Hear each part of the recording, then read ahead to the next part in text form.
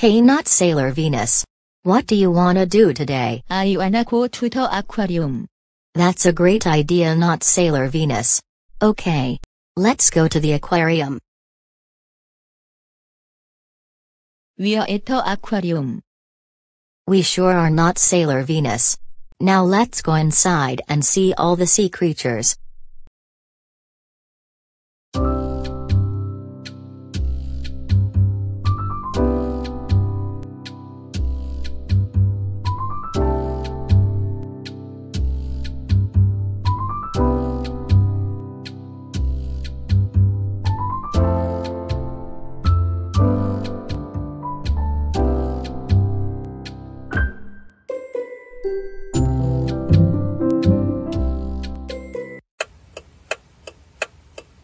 That was fun.